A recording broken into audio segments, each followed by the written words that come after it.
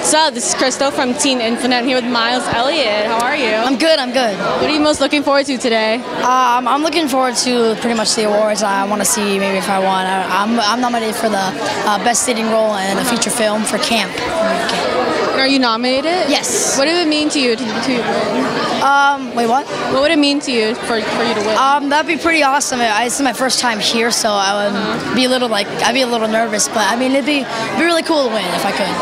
and is there anything else that you're working on right now? Uh, yes, I have this movie called Cooties coming out in the summer.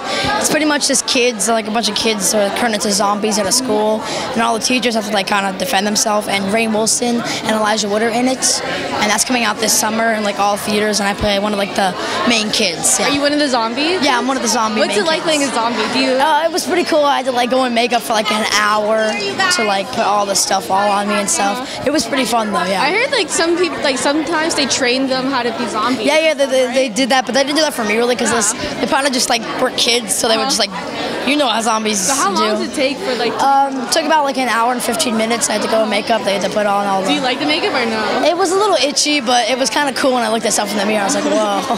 And lastly, where can people find you on Twitter? Um, you can type in Miles Elliot and Twitter and my Facebook, Miles Elliot, my Instagram, Miles Elliot. All right. Well, thank you very much. Nice meeting you. Have too. a great time.